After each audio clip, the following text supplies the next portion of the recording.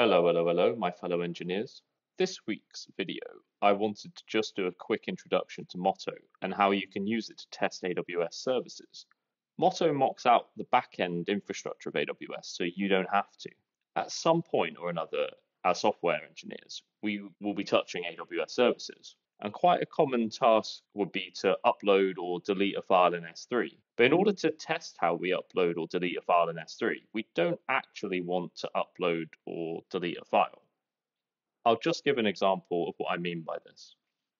If you want to follow along, here's the pip file with the dependencies I'll be using. I'll link all the documentation below. Firstly, I want to create a class that handles our S3 interactions. So I'll call this class S3 handler. And in this class, I want to initialize uh, an S3 client uh, session. So I'll start by I'll start by importing Boto3 first. I'll call this my S3 session. And I'll use Boto3 to create my session. And then I'll also have a S3 client as well. So I'll use the session to create that. I also want to interact with a specific bucket in S3. So I'll call that my bucket. And I'll also want to have a file that I want to upload. And we'll call that my file, just a text file. I'll actually need to create this here. So that's what I've created earlier. And we'll be using that as the file that we want to upload. But I'll also need a file path. And for this one, I'll just hard code it. Don't need that end bit. Next, we'll create our method that we want to upload our file. We'll call that upload S3 file. And in this, we need the path to the file that we want to upload. And we'll use OS for this. Just import that quickly. And we want to specify the file path and the name of the file. Now we can use our S3 client to upload the file.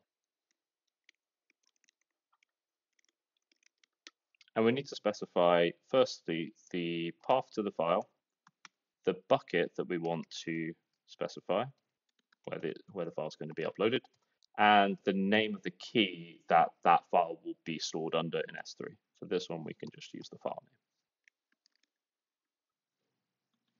Now let's build a test for this. So firstly, I want to import our handler. And then let's define our test. So what we want to test is our upload. So just go grab that. And let's create a S3 handler. And let's form the upload. And let's see what happens. So you'll notice that Boto3 is trying to locate credentials that don't exist. In reality, you would be running this in an environment where you would have an AWS configuration set up. But I don't actually want to upload a file. This is where we can use Moto. If I import the mock S3 decorator, I can use this like so. Now let's see what happens when I run the test. As you can see, Boto3 isn't looking for credentials anymore, but what I'm actually getting is an S3 upload failed error due to having no such bucket existing, which is the exact response that AWS would give us in this situation. Fantastic. So what we need to do in this test is create an S3 client using Boto3 that we used before. So I'll just import that. And then we need to use that to create our bucket. And we need to specify the name that we set in our class that we made before called my bucket. Now if we run that test, you can see it's now passing. We have successfully mocked out AWS infrastructure, and it's as simple as that. So when testing AWS services, give Moto a try and see if it works for you. Any questions, leave them in the comments below, and I'll catch you on the next one.